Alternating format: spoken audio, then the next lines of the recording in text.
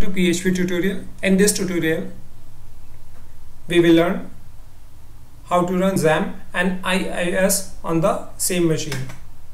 There are three simple steps. First, install the IIS and test it. Second, install the XAMPP server and test it. And final and most important step, configure the httpd.config file. Now we will learn how to install the IIS. To install the IIS, open the run, type control and OK. You can see program and feature option, click on it. Then click on Windows on or off.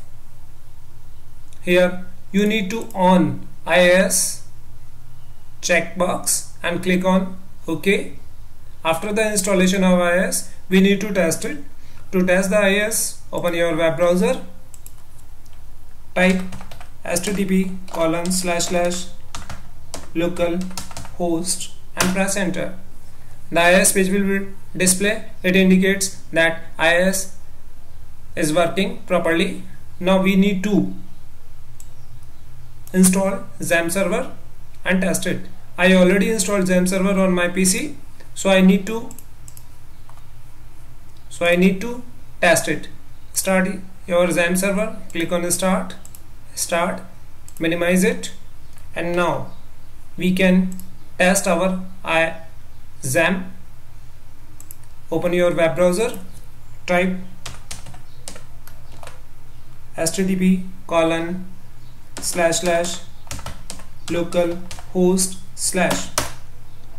The XAMPP server page will not display here. The IIS page will display.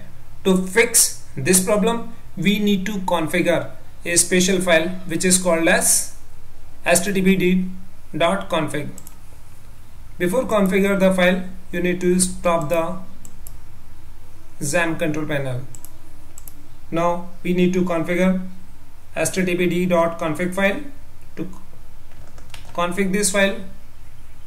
Open the C drive XAMPP, Apache, configure and HTTPD. Open it into the notepad or any editor. Now there are two changes in this file. First, listen 80. You need to change it 8080. And second change is server name localhost find you need to also change it 80 after this save the file and close it. Now I will test my XAMPP start start.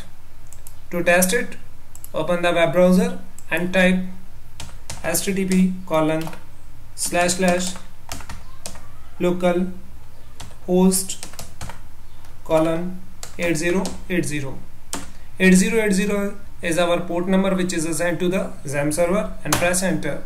You can see the XAMPP page will be display here. If you like this video kindly subscribe to us. Thank you for watching my video